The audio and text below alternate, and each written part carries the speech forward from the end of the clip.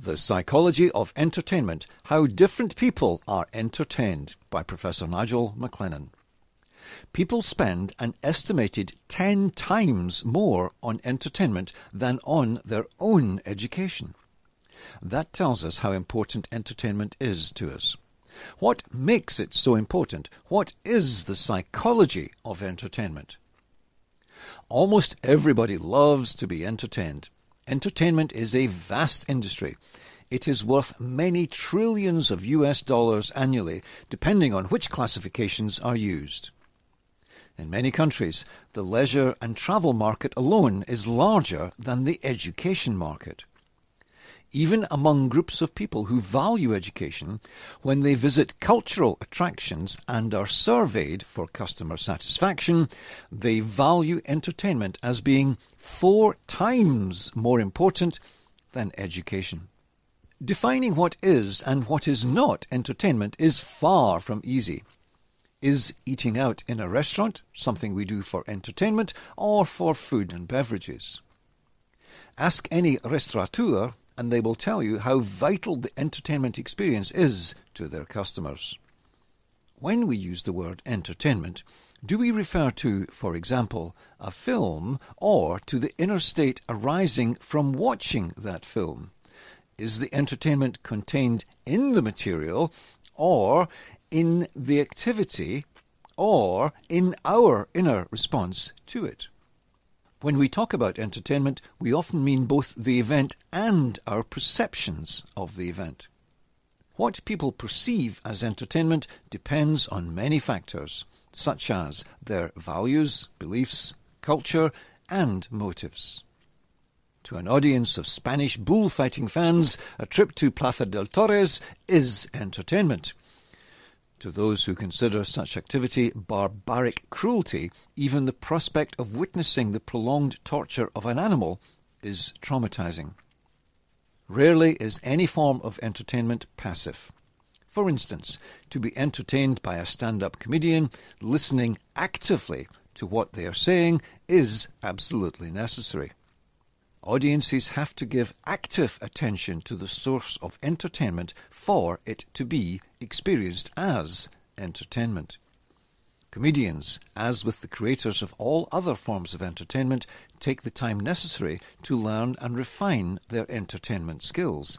They learn how to engage audiences and then take those audiences on an emotional journey.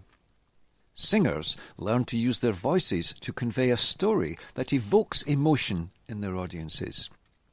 Film screenplay writers learn the craft of visual storytelling to keep us enthralled on the edge of our seats. Novelists learn the craft of the page turner, how to create each sentence, paragraph, and section in such a way that we want to, even need to, find out what happens next. Entertainment is a very deliberate and well studied art. Over millennia, successive generations of entertainers have refined their craft to the level we see today. Entertainment brings many benefits. It can and does release and distract from stress. It provides escapism from the problems in our lives. It protects and improves our mental health.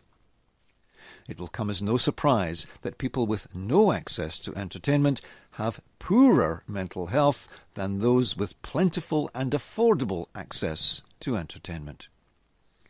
When workers take state changing breaks induced by entertainment, upon returning to work, their productivity is higher than those without entertainment breaks. The most advanced organizations in the world know that and provide all sorts of entertainment for their staff. When entertainment is shared with others, it helps to improve the quality of those relationships. For those who are less able to meet others in person, entertainment can enhance their sense of connection with society, which benefits their mental health. Indeed, there is much evidence that watching human interaction based entertainment helps develop social skills. What are the theories that try to explain entertainment? Some theories claim that to understand entertainment, it is necessary to know what people do with any given entertainment. It is wise to understand the utility of entertainment, but it is far from the whole picture. It is also necessary to understand the gratification people seek from any source of entertainment. Different sources provide different types of entertainment rewards. Some people would never watch a horror movie. They don't find being scared entertaining. Others love horror movies because they want to be terrified and find that state exhilarating. Then there is the gap between the gratification sought and that obtained from any given source. When people get what they want from a source, they tend to do it again. They become repeat customers. That takes us to a place where it seems wise to try to understand the goals, the gratification sought, the utility, and the actual rewards obtained by the entertainment seeker from the entertainment. As a person becomes increasingly engaged with and dependent on an entertainment outlet, that source acquires more and more influence over the user. Providers of entertainment know that and seek to develop increasing dependency. That is, the entertainers seek to understand what the user wants, and the user consumes when their needs are met and don't consume when they aren't met. In an ongoing interplay, each party is influencing the other and cultivating the views of the other. Audiences shape what entertainers do, and entertainers shape audiences. The interplay between entertainment and other aspects of life, too, is ubiquitous. Politicians who entertain voters and tell them what they want to hear are more electable than those who tell the truth in sober tones. Marketeers and advertisers have known across the centuries that engaged clients buy products and services, and they are acutely aware that among the best ways to engage potential customers is to entertain them. Educators who can entertain best are more likely to engage their students and therefore more likely to spark passion and enthusiasm for their subject. That in turn has an impact on learning outcomes. Only the best education is even close to being as entertaining as the best entertainment. Children see the world's best entertainers on all sorts of media and are regularly engaged to the point of being transfixed. They can contrast that with what they experience in school.